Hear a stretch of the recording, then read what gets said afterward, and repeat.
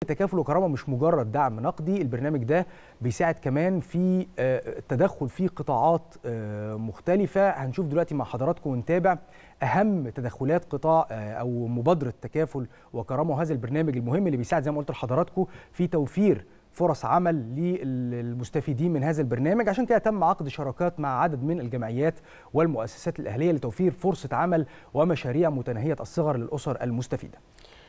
يعني بنتكلم كمان عشان كده الشراكات اللي بتتم مع تكافل وكرامة بيكون هدفها إحداث التنمية المستدامة لصالح الفئات المستهدفة وتوفير توفير فرص عمل مناسبة ليهم تقدر إن هي تنقلهم من حالة العوز إلى الإنتاج وهو ده المهم توفير مصدر رزق دايم. خلونا نشوف مع حضراتكم التقرير ونرجع تاني.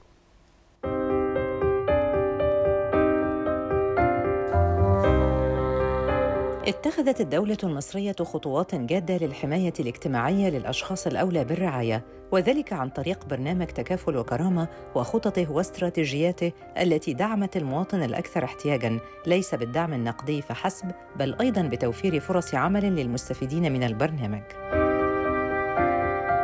وتم عقد شراكات مع عدد من الجمعيات والمؤسسات الأهلية في قطاعي التشغيل الذاتي والتشغيل لدى الغير لتوفير خمسين ألف فرصة عمل ومشاريع متناهية الصغر.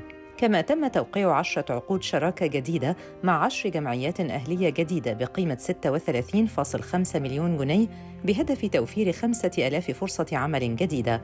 منها 4353 فرصة عمل في قطاع التشغيل الذاتي و570 فرصة توظيف لدى الغير. وتمثل هذه التعاقدات المرحلة الثانية من عقود الشراكة مع المجتمع المدني لتنفيذ مشروعات فردية لمستفيدي تكافل وكرامة في عدة محافظات بتكلفة إجمالية تصل إلى 36.5 مليون جنيه وذلك كدفعة مرحلية ثانية في هذه المحافظات. وترتكز عقود الشراكات التي تم توقيعها مع عدد من الجمعيات والمؤسسات الأهلية على محور أساسي في جهودها وهو إحداث التنمية المستدامة لصالح الفئات المستهدفة وتوفير فرص عمل في قطاعي التشغيل والمشروعات متناهية الصغر والصغيرة.